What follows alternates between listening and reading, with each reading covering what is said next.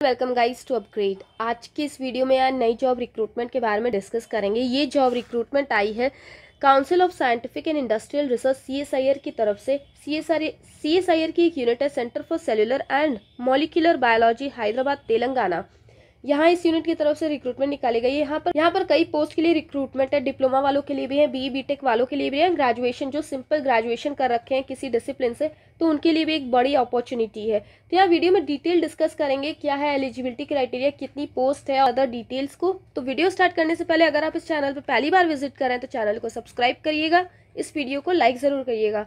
बिना किसी देरी के आज का वीडियो शुरू करते हैं। तो यहाँ पर आप देख सकते हैं सी एस आई आर सी की ऑफिशियल नोटिफिकेशन रिलीज़ हो चुका है। एडवर्टीजमेंट नंबर है five two thousand and twenty three यहाँ पर ऑनलाइन एप्लीकेशन स्टार्ट डेट की बात करें तो बीस दिसंबर से ऑनलाइन एप्लीकेशन आपका स्टार्ट हो चुका है और लास्ट डेट है आपका बीस जनवरी, यानी टोटल एक महीना है आपके पास फॉर्म फिल करने का। अब यहाँ पर अदर डिटेल्स चेकआउट करते हैं कौन कौन सी पोस्ट है और कितनी पोस्ट निकाली गई है। सबसे पहली पोस्ट है यहाँ टेक्निकल असिस्टेंट की टोटल पोस्ट है यहाँ पर एटीन पे लेवल की बात करें तो यहाँ लेवल सिक्स का रहने वाला है और एज लिमिट है maximum twenty eight years next post है टेक्निकल ऑफिसर की टोटल पोस्ट है फाइव पे लेवल की बात करें तो लेवल सेवन का होने वाला है और मैक्सिमम एज है थर्टी इयर्स नेक्स्ट पोस्ट है सीनियर टेक्निकल ऑफिसर या फिर मेडिकल ऑफिसर टोटल एक ही पोस्ट है. लेवल आपका यहाँ टेन रहने वाला है और मैक्सिमम एज है यहाँ पर थर्टी फाइव ईयर्स अब यहाँ पर डिटेल में डिस्कस करते हैं किस पोस्ट के लिए क्या एलिजिबिलिटी और क्या रिक्वायरमेंट है। पहला पोस्ट है यहाँ पर टेक्निकल असिस्टेंट प्रोटियोमिक्स का। टोटल पोस्ट की बात करें यहाँ दो पोस्ट है, एक अनरिजर्व की, एक ओबीसी की। एजुकेशनल क्वालिफिकेशन की बात करें तो अगर आपने बीएससी कर रखा है फिजिक्स केमिस्ट्री या फिर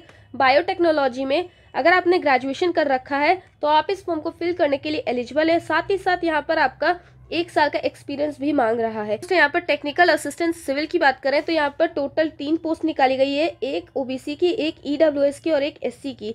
Diploma in civil engineering required है और यहाँ पर साथ ही साथ तीन साल का आपके पास एक्सपीरियंस होना चाहिए। यहाँ पर लेटरल एंट्री कैंडिडेट्स भी एलिजिबल है इस फॉर्म को फिल करने के लिए। नेक्स्ट यहाँ पर टेक्निकल असिस्टेंट कैंटीन की यहाँ टोटल दो पोस्ट है। यहाँ क्वालिफिकेशन की बात करें, अगर आपने बेसिक कर रखा है, इन सब डिसिप्लिन में तो आप इस फॉर्म को फिल करने के लिए एलिजिबल है। साथ ही साथ यहाँ पर आपका एक साल का एक्सपीरियंस भी मांग रहा है। यहाँ पर टेक्निकल असिस्टेंट इंस्ट्रूमेंटेशन की बात करें तो diploma in electronics instrumentation engineering required है। साथ ही साल आपका दो साल का एक्सपीरियंस होना चाहिए। Next technical assistant tissue culture total एक पोस्ट है। अगर आपने बेसिक कर रखा है बायोटेक्नोलॉजी बायोकेमिस्ट्री या फिर माइक्रोबायोलॉजी एंड जूलॉजी में तो आप इस फॉर्म को फिल करने के लिए एलिजिबल है। नेक्स्ट बात करें टेक्निकल असिस्टेंट जेबरा फ़िश का भी पोस्ट है।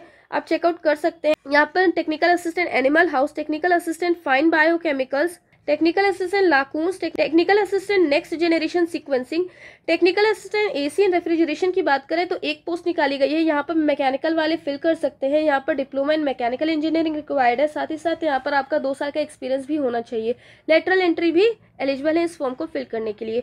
नेक्स्ट बात करें इलेक्ट्रिकल वालों के लिए। यहाँ डिप्लोमा रिक्वायर्ड है इन इलेक्ट्रिकल इंजीनियरिंग यहाँ पर आपका दो साल का एक्सपीरियंस यहाँ भी रिक्वायर्ड है। और यहाँ पर एक चीज़ यहाँ पर लेटरल एंट्री भी एलिजिबल है इस फॉर्म को फिल करने के लिए। यहाँ पर नेक्स्ट पोस्ट की बात करें तो टेक्निकल ऑफिसर की मेडिकल ऑफिसर की तो यहाँ पर चेकआउट कर सकते हैं। टेक्निकल ऑफिसर में बी बीटेक रिक्वायर्ड है बायोटेक्नोलॉजी में। अगेन यहाँ पर एनिमल हाउस फैकल्टी के लिए भी रिक्वायर्ड है बी बीटेक बायोटेक्नोलॉजी में। यहाँ पर फुल डिटेल आप चेकआउट कर लीजिएगा। आप किस पोस्ट के लिए भरना चाह रहे हैं। नोटिफिकेशन में अदर डिटेल की बात करें तो मोड ऑफ़ सिलेक्शन में देखते हैं। टेक्निकल असिस्टेंट टेक्निकल ऑफिसर वालों की बात करें, यहाँ पर सबसे पहले जो एप्लीकेशन फॉर्म्स जितने भी सबमिट होंगे, उनका स्क्रीनिंग किया जाता है। उसके बाद यहाँ पर ट्रेड टेस्ट के लिए बुलाया जाएगा। जो कैंडिडेट्स मिनिमम थ्रेश क्रॉस करेंगे ट्रेड टेस्ट का, उनको बुलाया जाएगा पेपर वन के लिए। अगेन थ्रेश क्रॉस करने के बाद अगर कैंडिडेट पेपर वन का थ्रेशोल्ड क्रॉस करता है तो paper two and paper three के लिए रिटर्न एग्जामिनेशन हालाँकि पेपर वन भी आपका ऑब्जेक्टिव होगा फाइनल मेरिट आपकी बनेगी paper two and paper three के बेसिस पे।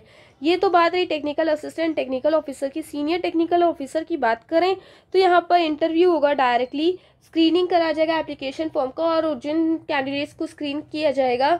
उनको इंटरव्यू के लिए कॉल आएगा। यहाँ पर टेक्निकल असिस्टेंट की बात करें तो यहाँ पर O M R based computer based test होगा मल्टीपल चॉइस क्वेश्चंस पूछे जाएँगे। मीडियम यहाँ पर हिंदी एंड इंग्लिश बोथ होगा। यहाँ पर बात करें कि किस लेवल का एग्जामिनेशन होगा तो यहाँ पर अगर आपने टेक्निकल असिस्टेंट का फॉर्म डाला है तो डिप्लोमा या ग्रेजुएशन लेवल पर ही आपका क्वेश्चन पूछे जाएँगे। और यहाँ पर टेक्निकल ऑफिसर की बात करें, यहाँ पर पीजी लेवल पर क्वेश्चन पूछे जाएँगे। टोटल क्वेश्चन यहाँ पर आपका 200 रहेगा और टाइम यहाँ दिया जाएगा तीन घंटे। पेपर वन की बात करें तो मेंटल एबिलिटी टेस्ट होगा टोटल क्वेश्चन पचास पूछे जाएँगे और हर क्वेश्चन दो मार्क का होगा। पेपर वन में पर कोई नेगेटिव मार्किंग नहीं है। पेपर टू की बात करें, यहाँ पर टोटल तीस मिनट का समय दिया जाएगा। General awareness and English language के क्वेश्चन पूछे जाएँगे। पच्चीस पच्चीस क्वेश्चन दोनों पूछे जाएँगे। एक क्वेश्चन तीन मार्क्स का होगा। दैट इज़ टोटल 150 मार्क्स का ये एग्जामिनेशन होगा पेपर टू यहाँ पर नेगेटिव मार्किंग की बात करें तो एक मार्क आपका डिडक्ट होगा हर एक रॉन्ग आंसर पे। नेक्स्ट यहाँ पेपर थ्री की बात करें, यहाँ पर आपका नब्बे मिनट दिया जाएगा और जिस भी ब्रांच से आप फॉर्म फिल करें for the post of technical assistant वहाँ पर उस कंसर्न सब्जेक्ट का क्वेश्चन पूछा जाएगा। टोटल क्वेश्चन यहाँ पर सौ पूछे जाएँगे, हर क्वेश्चन तीन नंबर का होगा। टोटल मार्क्स होगा थ्री हंड्रेड का। अगेन वन मार्क का नेगेटिव मार्किंग है यहाँ पर।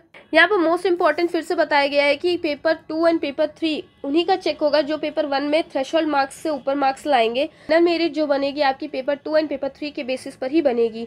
हाउ टू अप्लाई की बात करें तो यहाँ पर इन पर स्टेशन का लॉग इन करके आप एप्लीकेशन फॉर्म फिल कर सकते हैं। लास्ट डेट की बात करें again twenty January two thousand and twenty four is the last date for filling the application form application fee की बात करें तो यहाँ पर हंड्रेड रुपीज़ फ़ीस लग रहा है और S C S T P W D women candidate या फिर अगर आप सी एस आई आर के एम्प्लॉय हैं तो उनके लिए कोई फ़ीस नहीं लगेगा और बाकी जनरल ई डब्ल्यू एस उन ओ बी सी कैंडिडेट्स के लिए हंड्रेड रुपीज़ फ़ीस है। सो so, आज के वीडियो में यही अपडेट था। ऐसी जॉब रिलेटेड अपडेट्स के लिए सब्सक्राइब करें हमारे चैनल को। मैं मिलती हूँ आपसे नेक्स्ट वीडियो में। Till then take care and bye